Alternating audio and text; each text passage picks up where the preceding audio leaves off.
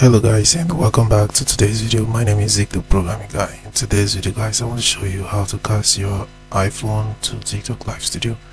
It's very easy so let's get started.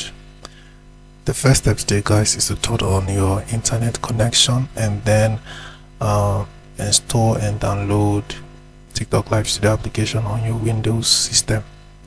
Alright so after that the next thing you have to do is to go ahead and launch the TikTok live studio and then you have to log into your account.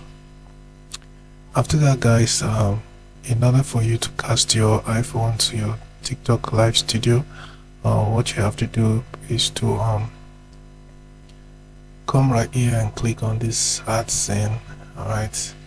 Click on the add scene that's the first thing you have to do. Click on the add scene and choose a scene so um, we have the landscape scene scene. We have chat scene we have blank scene alright so go ahead and choose any of them. So for example I can choose the blank scene and then I'll come right here and click on add. And then I'll have it added right here. So um what I have to do next is to click on add source. So I have to click on add source. And um these are some video sources on TikTok live studio. So um I'm going to click on this one this um, cast iOS. And then once I click on that I'm going to have to click on add right here.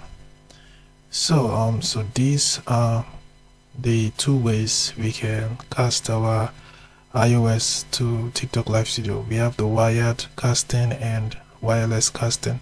So the wired casting allows you to use your USB cable to do this. While the wireless casting um, there's actually a way you can actually do it which is very simple as well but today we're going to be focusing on how we can actually do it um, using the wired casting. So all you have to do guys is to get your USB cable and then connect it to your PC and after that connect to your iOS device. So I'm going to do that right now.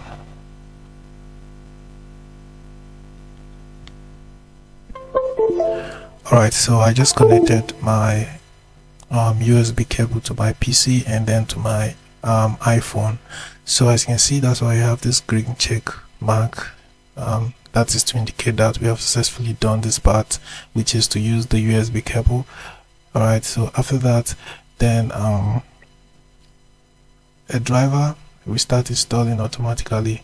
Alright, so um, the driver will start installing automatically and once that is completed then um, you have to make sure that you keep your mobile screen unlocked. So the screen has to be unlocked and then um, you're going to get this um, check mark after some few seconds all right so once this is once this um, once this are completed then the next thing to do which is the fourth one is to click on this add source. So once you tap on the add source you get your um, iOS device casted on TikTok Live Studio. So this is actually my device. I can actually do anything I want and it will be reflecting right there. Alright.